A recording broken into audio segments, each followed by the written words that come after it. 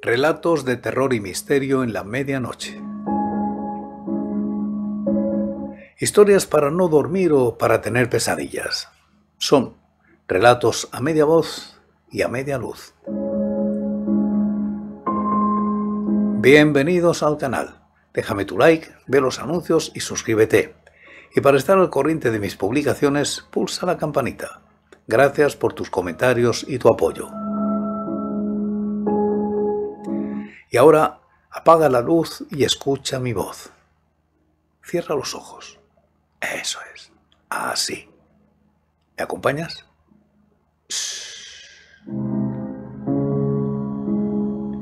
Calor de agosto, de William Fryer Harvey. Penniston Road, Clapham, 20 de agosto de 1900. Acabo de experimentar el que creo ha sido el día más extraordinario de mi vida, y mientras los hechos siguen frescos en mi memoria, deseo pasarlos al papel con tanta claridad como me sea posible. Déjeme decir antes que nada que mi nombre es eh, James Clarence Whittencroft. Tengo 40 años y una salud de hierro, pues nunca he pasado un solo día de mi vida enfermo. Soy artista por profesión, aunque no de mucho éxito, si bien gano suficiente dinero con mi trabajo en blanco y negro para satisfacer mis necesidades. Mi único pariente cercano, una hermana, falleció hace cinco años, de modo que soy independiente.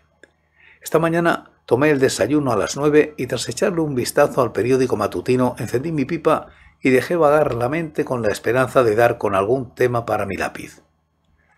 A pesar de tener la puerta y las ventanas abiertas, la atmósfera de la habitación era opresivamente calurosa y acababa de decidir que el lugar más fresco y cómodo de todo el vecindario sería la zona más honda de la piscina pública cuando llegó la idea.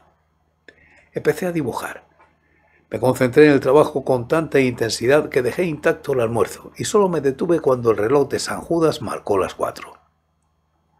El resultado final, para tratarse de un boceto apresurado, era, estaba convencido, lo mejor que había hecho nunca mostraba a un criminal en el banquillo de los acusados inmediatamente después de que el juez hubiera dictado sentencia. Era un hombre gordo, inmensamente gordo. La carne colgaba exageradamente sobre su barbilla, se plegaba sobre su enorme y rechoncho cuello. Exhibía un afeitado apurado, más bien debería decir que un par de días antes había disfrutado de un afeitado apurado, y era casi completamente calvo. Se encontraba de pie en el banquillo agarrando la barandilla con sus torpes dedos mirando al frente. El sentimiento que sugería su expresión no era tanto de horror como de un completo y absoluto derrumbamiento. No parecía haber en aquel hombre nada lo suficientemente fuerte como para soportar aquella montaña de carne. Enrollé el dibujo y en realidad ignorando por qué lo guardé en mi bolsillo. Después, con esa sensación poco común de felicidad, con la seguridad de que da el haber hecho algo bien salí de casa. Creo que salí con la idea de visitar a Trenton, pues recuerdo haber recorrido Leighton Street y girar a la derecha por Hillsdale Road, al pie de la colina, en la que un grupo de obreros trabajaba en la nueva línea de tranvía. A partir de entonces solo tengo un vago recuerdo de a dónde fui. Lo único de lo que era completamente consciente era del terrible calor que ascendía de la capa de asfalto de la calle casi como una ola palpable. Deseé oír el trueno que parecían prometer los grandes bancos de nubes de color cobrizo que colgaban a baja altitud sobre el cielo occidental. Debía de haber caminado cinco o seis millas cuando un chiquillo me sacó de mi trance al preguntarme la hora. Faltaban veinte minutos para las siete. En cuanto el chiquillo se marchó, busqué referencias que me ayudaran a orientarme.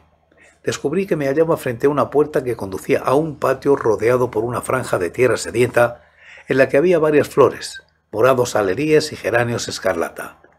Sobre la entrada había una madera con la inscripción CHS Atkinson, tallador, trabajos en mármol, inglés e italiano. Desde el interior del patio llegaba un silbido alegre, el ruido producido por los golpes de un martillo y el frío sonido del metal al chocar con la piedra. Un impulso repentino me hizo entrar. Había un hombre sentado, de espaldas a mí, trabajando en una losa de mármol curiosamente veteada. Se giró en cuanto oyó mis pasos y yo noté cómo los pies se me quedaban clavados en el suelo. Era el mismo hombre que había estado dibujando, aquel cuyo retrato llevaba en el bolsillo. Allí estaba, sentado, enorme y elefantíaco, con el sudor chorreándole por la calva que se secó con un pañuelo rojo de seda. Pero aunque el rostro era el mismo, la expresión era completamente diferente. Me recibió con una sonrisa como si fuéramos viejos amigos y me estrechó la mano. Me disculpé por la intrusión. Hace tanto calor y el sol brilla tanto ahí fuera, dije que esto parece un oasis en mitad del desierto. No sé yo qué decir sobre eso del oasis, respondió, pero desde luego hace calor, tanto calor como en el infierno. Siéntese, caballero. Señaló hacia uno de los extremos de la losa funeraria en la que estaba trabajando y me senté. Ha conseguido hacerse usted con una hermosa pieza de mármol, dije. Él negó con la cabeza. En cierto modo sí lo es, respondió, pues la superficie de esta cara está perfectamente pulida, pero, aunque imagino que usted nunca se daría cuenta, tiene una enorme tara en la parte trasera. Nunca podría hacer un trabajo realmente bueno con este mármol. Aguantaría bien durante un verano como este, ya que no se vería afectado por el maldito calor. Pero espere a que llegue el invierno. No hay nada como una buena helada para revelar los puntos débiles de una piedra. Entonces, ¿para qué es? pregunté. El hombre se echó a reír. Ay, no sé si me creerá si le digo que es para una exposición, pero así es. Los artistas hacen exposiciones, al igual que los verduleros y los carniceros. También nosotros tenemos las nuestras. Lo último en lápida, ¿sabe? Empezó entonces a hablar de las diferentes clases de mármol, cuál soportaba mejor el viento y la lluvia y con cuál era más fácil trabajar. De ahí pasó a su jardín y a una nueva clase de clavel que acababa de comprar. Más o menos cada dos minutos dejaba sus herramientas, se secaba la brillante calva y maldecía el calor. Yo hablé poco, pues me sentía incómodo. Había algo antinatural, misterioso, en mi encuentro con aquel hombre. Al principio intenté convencerme de que ya le había visto con anterioridad, que su rostro, desconocido para mí, había encontrado cobijo en algún rincón remoto de mi memoria, pero supe que estaba practicando poco más que un plausible intento de autoengaño. El señor Atkinson finalizó su trabajo, escupió en el suelo y se levantó profiriendo un suspiro de alivio. ¡Ah! Ya está. ¿Qué le parece? dijo con un aire de orgullo evidente. La inscripción que leí entonces por primera vez era la siguiente. En sagrada memoria de James Clarence Whittencroft, nacido el 18 de enero de 1860. Falleció repentinamente el 20 de agosto de 1900. En la plenitud de la vida estamos en la muerte, entre paréntesis. Durante un rato permanecí sentado en silencio.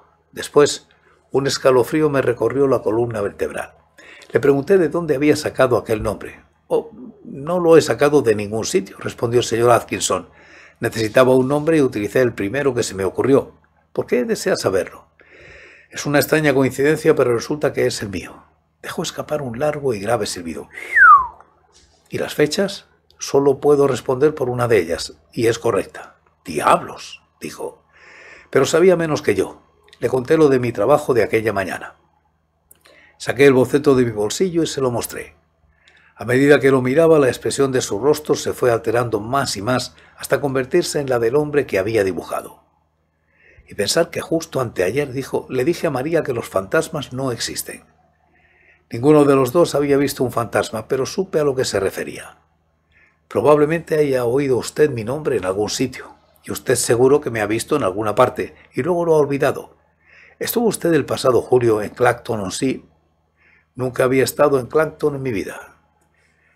Permanecimos en silencio durante un rato. Ambos estábamos contemplando lo mismo, las dos fechas grabadas en la losa y una era auténtica. Entre a cenar algo, dijo el señor Atkinson. Su esposa era una mujercita alegre con las mejillas redondas y sonrosadas de los que se han criado en el campo. Su esposo me presentó como un amigo suyo artista. No resultó ser una idea muy afortunada, pues una vez retiradas de la mesa las sardinas y los perros, extrajo una Biblia ilustrada por Doré y tuve que sentarme a expresar mi admiración durante casi media hora. Salí afuera y encontré a Atkinson sentado sobre la losa, fumando. Reiniciamos la conversación en el punto en que la habíamos dejado. Tendrá usted que perdonarme porque le pregunté esto, dije, pero ¿conoce alguna razón por la que pudieran llevarle a juicio? Él negó con la cabeza. No estoy en bancarrota. El negocio va lo suficientemente bien. Hace tres años le regalé unos pavos por Navidad a algunos de los guardas, pero eso es todo lo que se me ocurre. Y además eran pequeños, añadió como ocurrencia tardía. Se levantó tomó una regadera del porche y empezó a regar las plantas. Con este tiempo tan caluroso hay que hacerlo al menos dos veces al día, dijo, y aún así el calor a veces acaba con las más delicadas. Y los helechos, señor, no pueden ni aguantarlo. Eh, ¿Dónde vive usted? Le dije mi dirección. Volver a casa me supondría una hora de caminar a buen ritmo. Así están las cosas, dijo. Abordemos el asunto claramente. Si vuelve a casa esta noche puede usted sufrir toda una serie de accidentes. Un coche podría atropellarle y también están las típicas pieles de plátano o de naranja, eso por no hablar de las escaleras que se derrumban. Hablaba de lo improbable con una seriedad intensa que seis horas antes habría resultado risible. Pero yo no me reí. Lo mejor que podemos hacer, continuó, es que se quede usted aquí hasta las doce. Subiremos arriba y fumaremos. Puede que dentro se esté un poco más fresco. Ante mi propia sorpresa acepté. Ahora estamos sentados en una habitación larga, aunque no muy alta, bajo los aleros. Atkinson ha enviado a su mujer a la cama. Se mantiene ocupado afilando algunas de sus herramientas con una pequeña piedra oleosa mientras se fuma uno de mis puros. El aire está cargado con la amenaza de tormenta. Estoy escribiendo esto en una mesa inestable frente a la ventana abierta. Una de las patas está rota y Atkinson, que parece un hombre hábil con las herramientas, va a arreglarla tan pronto como termine de darle filo a su cincel. Ya pasan de las once. En menos de una hora me habré marchado, pero el calor es sofocante. Un hombre podría volverse loco con tanto calor.